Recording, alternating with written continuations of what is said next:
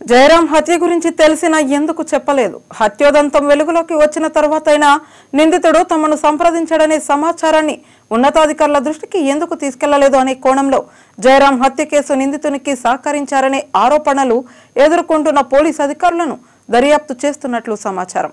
ప్రవాసాంధ్రుడు జయరాం హత్య కేసులో నిందితుడు రాకేష్ రెడ్డికి సహకరించారనే ఆరోపణలు ఎదుర్కొంటున్న ఏసీపీ మల్లారెడ్డి ఇన్స్పెక్టర్లు శ్రీనివాస్ రాంబాబు జూబ్లీహిల్స్ పోలీసులకు బుధవారం వాంగ్మూలం ఇచ్చారు.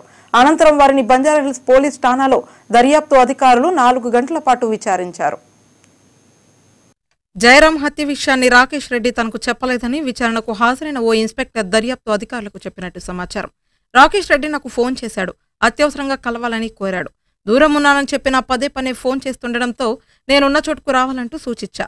నిందితుడు నాతో పది నిమిషాలు మాత్రమే మాట్లాడి వెళ్ళాడు. ఆ సమయంలో హత్య విషయాన్ని అతను నాతో ప్రస్తావించలేదని ఆయన చెప్పినట్టు సమాచారం.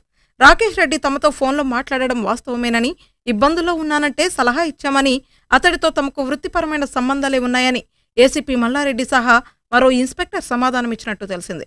విచారణ పూర్తయ్యాక ఇబ్రహీంపట్నం ఏసీపీ మల్లారెడ్డి మీడియా ప్రశ్నలకు సమాధానం చెప్పకుండా వేగంగా కారులో వెళ్ళిపోయారు హత్య కేసు నిందితుడితో పరిచయం ఉన్నంత మాత్రాన పోలీసు అధికారులను నిందితుల జాబితాలో చేర్చలేమని అతని నేరాలను ప్రోత్సహించినట్టుగాని అతడి భూకబ్జాలకు సహకరించినట్టుగాని రుజువులుంటే మాత్రం చర్యలు తప్పవని డీసీపీ ఏఆర్ శ్రీనివాస్ వెల్లడించారు.